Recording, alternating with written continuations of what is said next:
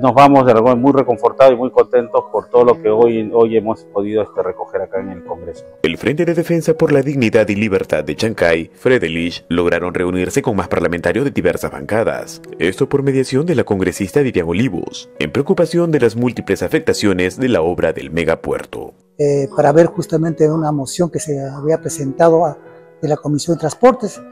Eh, hemos llegado a un buen puerto en el sentido que ya se ha priorizado la agenda todo eso gracias a la participación de la congresista Vivian Olivos, quien ha estado con nosotros toda la mañana, hemos estado coordinando con muchos congresistas.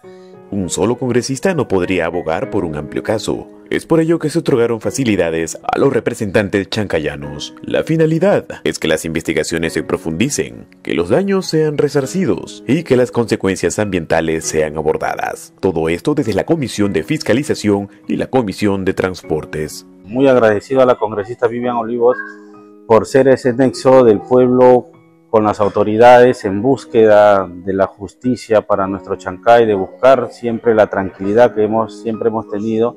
Además se buscó que más legisladores se sumen al apoyo en la moción presentada, la cual establece crear una comisión investigadora multipartidaria. Mientras tanto se logró el compromiso de los congresistas Guerra García, Padilla, Chirinos, Luque, Aragón, Portalatino y Bazán Narro. La congresista está haciendo sus funciones a carta cabal ha sido un día muy productivo. Hemos logrado que ingrese el documento a la mesa directiva del Congreso de la República del Perú, amigos.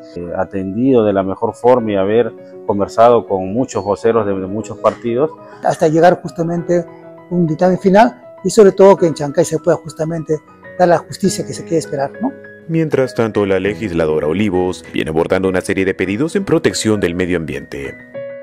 Se recuerda que todas las acciones tomadas no son una oposición a la inversión, son acciones en contra de las afectaciones y en cumplimiento de las funciones de fiscalización para beneficio de la población.